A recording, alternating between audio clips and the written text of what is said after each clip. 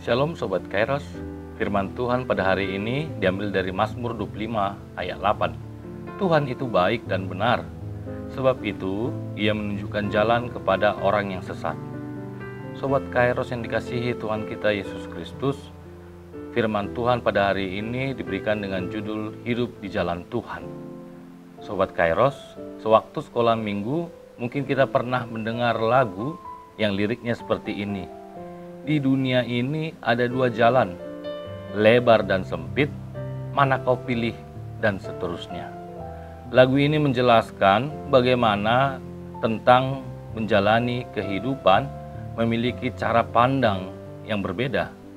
Jalan sempit yang mengatakan walaupun berliku-liku dan susah, tetapi jika bersama Tuhan menjalani kehidupan, pasti akan selamat.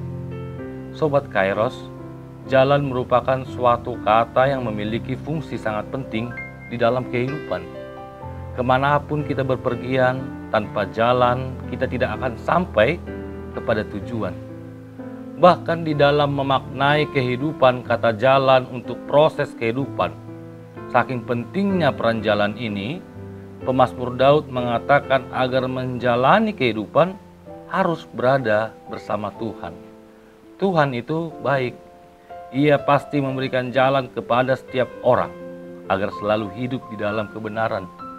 Dan bahkan kepada orang berdosa sekalipun, Tuhan menunjukkan jalan agar tidak tersesat di dalam menjalani kehidupan.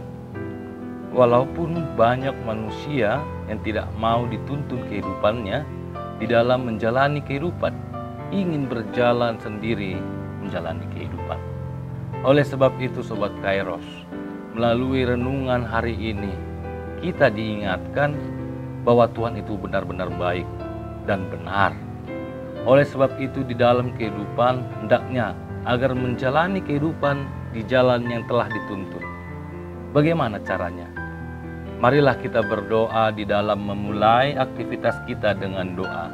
Ya Bapa, aku serahkan hidupku ke dalam tanganmu dan juga saudaraku yang lain. Selamat beraktivitas Sobat Kairos, tetap selalu menjaga kebersihan dan kesehatan di mana pun berada. Tuhan Yesus memberkati. Amin.